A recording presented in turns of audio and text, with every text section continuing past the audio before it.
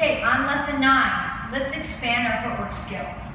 Footwork's the game changer for everything. Basketball, football, anyone can just sit there and shoot free throws, but once there's footwork and pressure, it's a much harder game. Same thing with boxing. So obviously this is going to depend on the amount of space that you have within your training environment and what your pad holder has been introduced to at this point. But if we've progressed our skills, whether you're an instructor or you're at home doing this with a training partner, three cones is pretty basic. You're going to start the round off. It might be a two or three minute round. Your more advanced students can absolutely throw different combinations.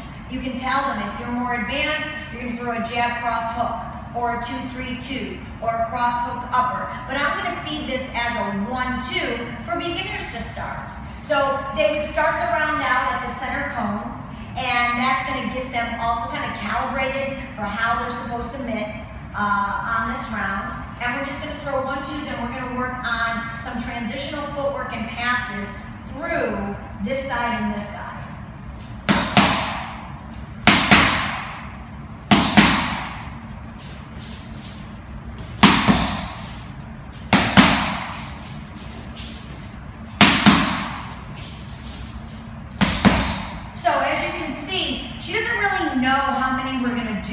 On each side of the cones. But what she does know because she's been trained is she's not throwing anything when my pads are facing my chest and my elbows are in and fed to my inside. It's only when they're fed out on my side of the cone but closer to that center cone that she throws those punches.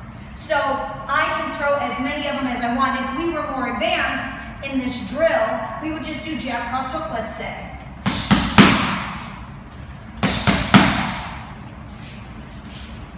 And I just create more of an interactive because I, as a pad holder, have more skills.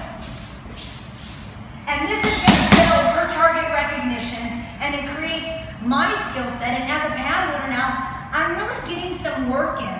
It's a real, true active rest for me, as opposed to just kind of standing like this and not really supporting my body, not getting my abs engaged and creating a far more realistic set of boxing skills. Okay? Okay, so we're on lesson 10, uh, building great mitt holding skills and some footwork in your boxing mitt classes or in your own personal workout.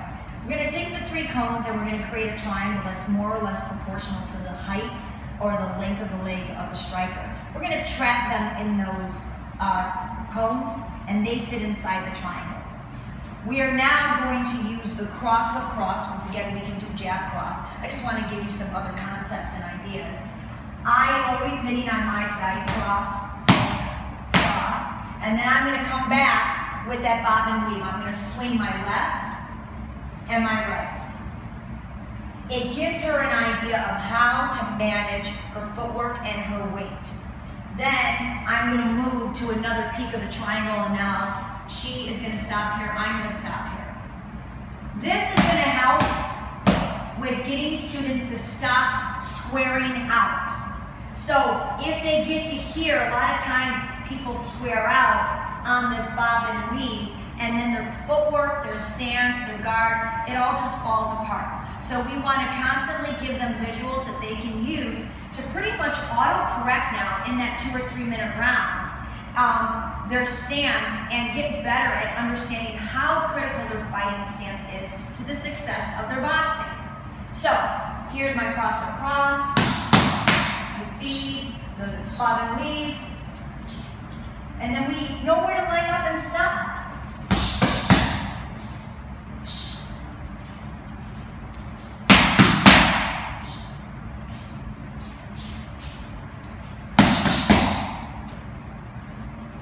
There you go.